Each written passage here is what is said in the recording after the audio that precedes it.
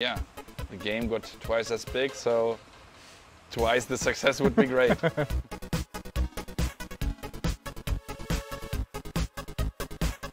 Could you tell us a bit about this amazing location you've summoned us all to today Mhm. and how it relates to, to everything? So, uh, hi, I'm Toby, I'm PR manager at Warhorse Studios, and today uh, we are in the city of Kuttenberg. Well, actually, we are playing at Gask, which is an art gallery here in Kuttenberg. However, at the at the exact place you are sitting on right now in 1403, there's probably only sand and grass and field. There's actually really nothing. So this is an old Jesuit monastery uh, behind you that was built way later. However, the city was of course existing. It was even bigger than uh, it is today. And on the other side, the wonderful St. Barbara's Church, uh, um, that one is being under construction in that time. But uh, KCD2 uh, takes place here, and you will be able to stand here and uh, enjoy the city vista. Nice. It must be a bit surreal for yourself and all the other developers and everything to, to come here in, in person when you spent must spent so much time in the, you know the digital versions of everything. It's, it's really interesting because in Kingdom Come Deliverance 1 we already transferred real life location to the game, but most of the stuff in KCD 1 is destroyed today. So, I mean, it is existing, but you're visiting ruins pretty much. The only real big thing that is there is the Sazava Monastery, which never got. It's in, in the exact state it looked in 4003 because it was under construction and never finished. So it looks like that. Uh, however, Kuttenberg, which is today an um, UNESCO World Heritage Site, that is crazy, exactly as you said. We are building it back into how it looked in 1403, and we, we see the differences. So some of the buildings are still the same, some of them are looking completely different, and some are even missing because throughout the time they went got destroyed or whatever. So it's, it's cool uh, to be able to work, uh, or recreate that city. And what's even cooler is that the city itself, so the uh, mayor and the government here and so on, that they want to be involved in that as well. So they see KCD as a, as a huge thing and are actually inviting us, for instance, to be here today in this gallery. I was, I was intrigued by what you said about how you know the game strives for realism and accuracy in lots of ways, but you're not you know completely tied to it if there's a more fun way of doing something, a more interesting way of doing something. What's like the kind of philosophy Mm. behind that?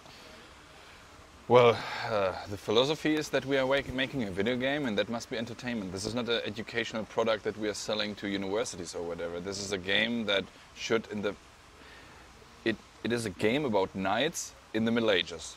Period. That's it. You're, and everything that's built upon that is a bonus for the ones who are interested. It's a bonus that that we try to make it realistic and authentic. It's a bonus that it's very immersive. It's a bonus that you have instead of button mashing uh, the combat that you have the, the real historical martial arts or the best explanation we could uh, provide uh, in a video game. So that is the, the main philosophy there. So we, we, we never sacrificed the entertainment part for the authenticity, but it's not like we made something up to make it fun. It's it's more like that we um, if, if we had the choice, we tried to go the way that is the uh, the entertaining alternative without going crazy, without inventing anything, and without breaking what uh, or, or making stuff up that, that, that would have never happened in, in uh, the Middle Ages. And a tiny example, uh, but there's many examples, but a tiny example is, for instance, armor. If we feel like this armor looks particularly cool, but it was invented 50 years later, then it's like, yeah, whatever. Maybe someone was the first, or the other way around. This armor is 100 years old, so well, whatever. Maybe it's the uh, uh, it's the armor of his grandpa or whatever. So right, it's it's the little things, but the overall, I, I'm still strongly convinced that the overall game is still the closest you can get into uh, medieval Bohemia or even medieval Europe. Obviously, it's been a few years now since KCD one. What are some of the kind of learnings and lessons and things taken from that experience and experiences from the DLCs, I imagine Mm. as well, that have now been kind of baked into the new game? What are some of the Mm. kind of changes and, and differences that fans can expect? Well, I think the whole KCD1 project was a learning. So uh, uh, KCD2 is a direct continuation, and everything the guys and the people, the players know from KCD1 is somehow depicted in KCD2, but smoothed out, made it more streamlined, better, um, easier to handle and so on.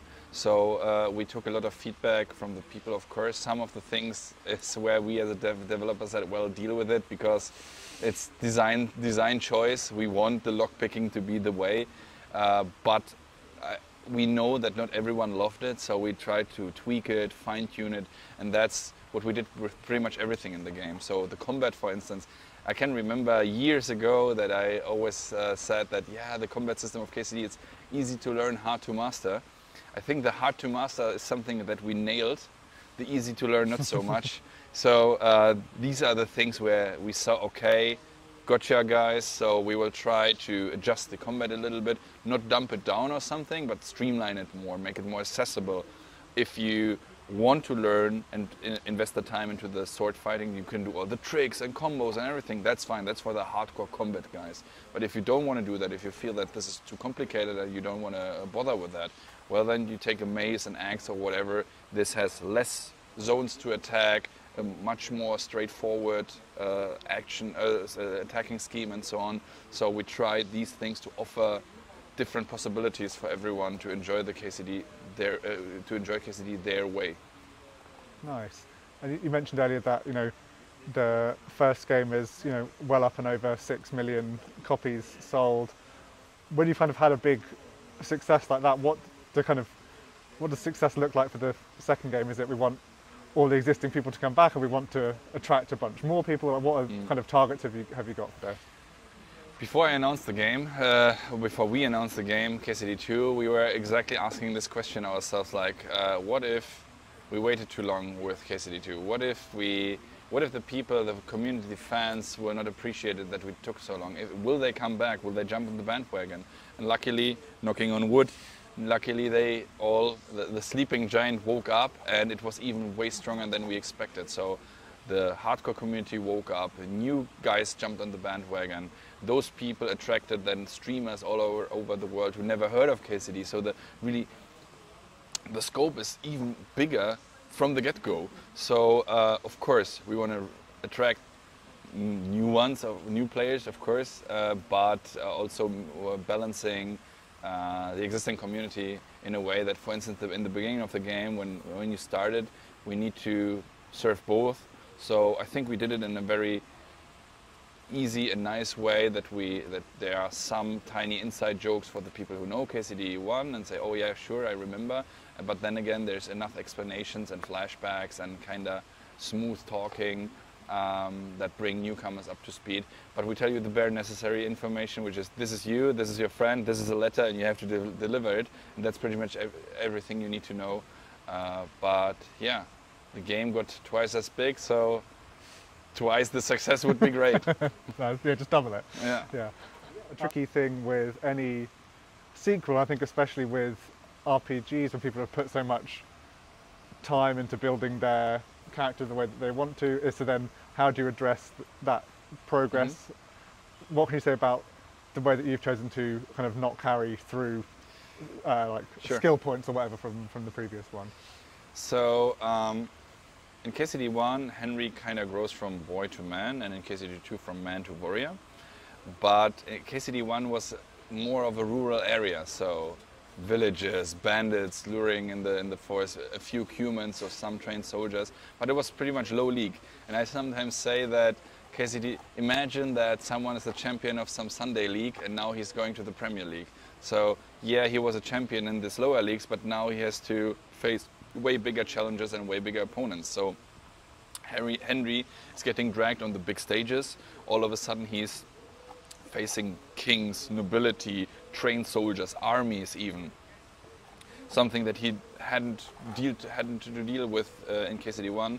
So it's not like he has to learn how to walk again, but he has to hone his skills and make them better. So some of the things are carried over from KCD1. So he can read, he has a dog, he knows how to sword fight and so on. So there, the basics are there.